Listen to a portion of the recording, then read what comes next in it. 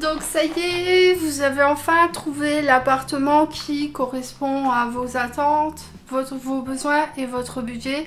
Vous êtes euh, sur le point de signer le bail et maintenant il va falloir euh, envisager de préparer votre déménagement. Alors euh, pour tout ce qui est administratif, préparation des cartons, tout ça, moi je ne pourrais pas vous aider.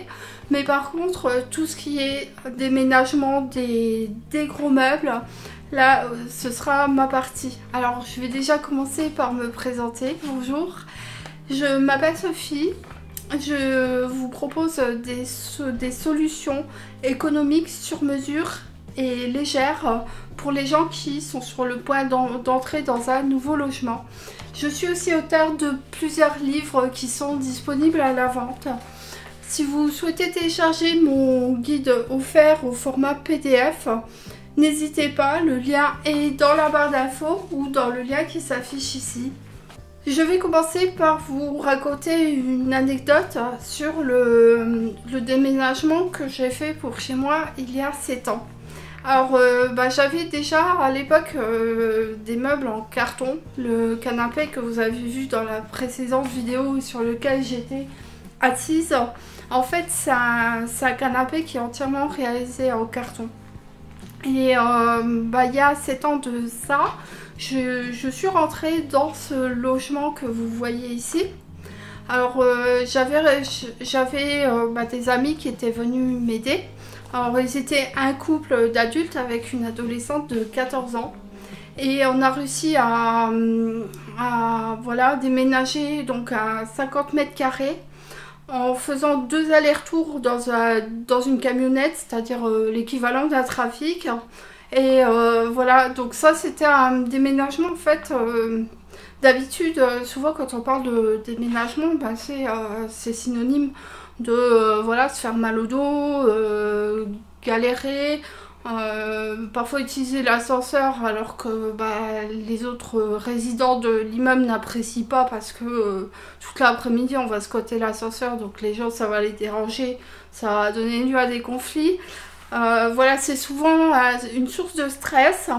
Et euh, bah, en fait, moi, comme tous les meubles, quasiment tous les meubles de mon appartement, hormis le lit, la table et l'électroménager, en fait, chez moi, tout est en carton. Donc, bah, ce qui s'est passé toute la journée, bah, on a bien rigolé surtout.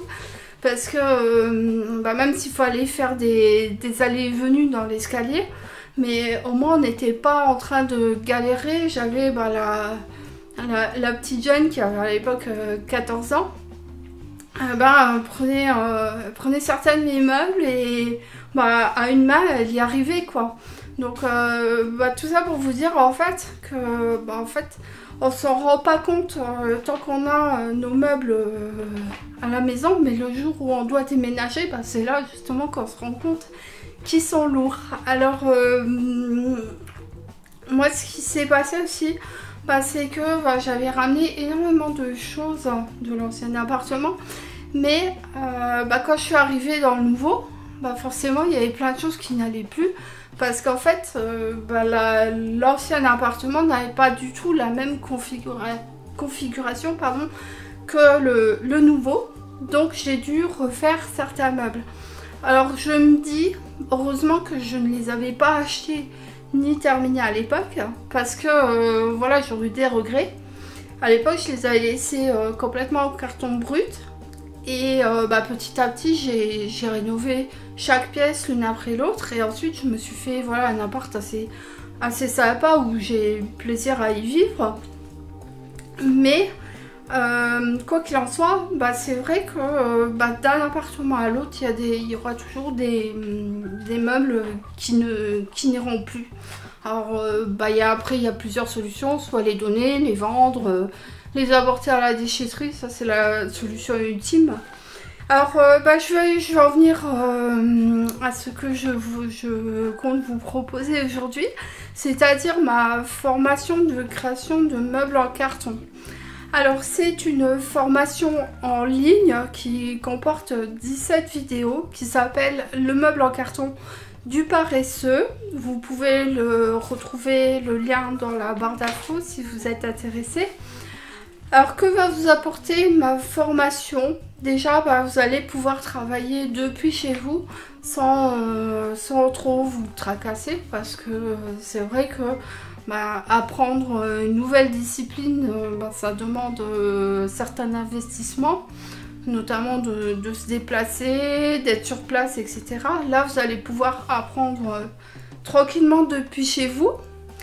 Alors, ce que moi, je vais vous apporter en tant que formateur, déjà ça va être toute mon expérience parce que en fait j'ai vraiment appris euh, en créant mes propres meubles. J'ai réalisé tous les meubles de mon appartement en carton.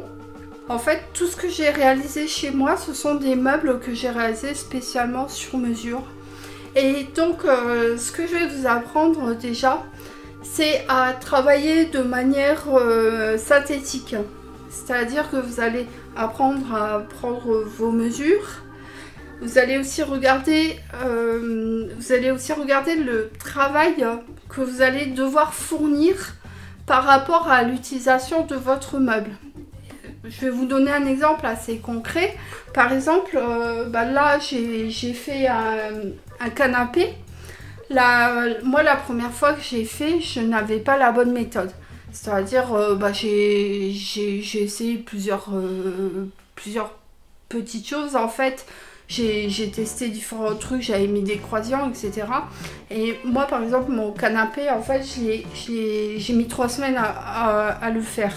Mais par contre, quand j'ai appris euh, à des... parce que j'avais fait un stage auprès d'adolescents, bah, le jeune, il a réussi à faire, grâce à mes explications, il a réussi à faire son canapé en, un week-end, c'était réglé. Après, il y avait un petit peu de finition, euh, tout ça pour que le canapé soit bien, pour le décorer. Mais euh, voilà, ça a été beaucoup plus rapide.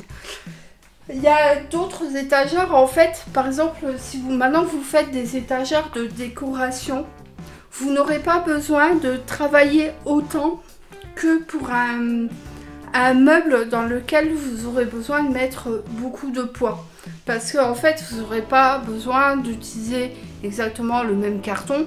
Évidemment, pour un canapé, vous aurez besoin de plus de, de travailler plus parce que vous aurez plus de carton à couper. En fait, ce que je fais dans, la formation, c'est euh, de vous donner euh, toujours le juste milieu entre ce que vous allez devoir fournir comme effort et l'effet, le, besoin qu'aura votre meuble en solidité. Évidemment, vous faites euh, par exemple un meuble à chaussures comme celui que je vous ai montré dans la précédente vidéo.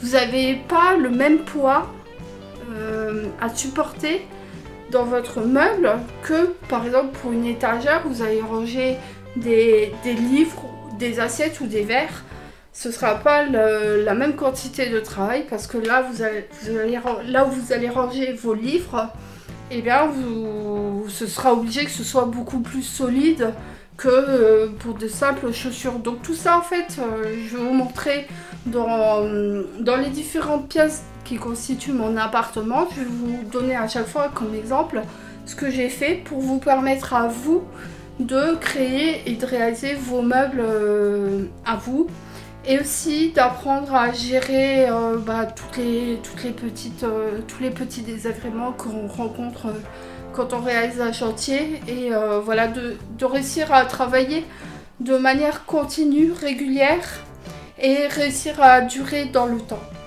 Donc, donc voilà, bah, si vous êtes intéressé par ma formation, sachez que bah, toutes les informations sont dans la barre d'infos. Moi, je vous remercie beaucoup pour votre attention. Je vous souhaite une très bonne journée. Je vous dis à bientôt. Au revoir.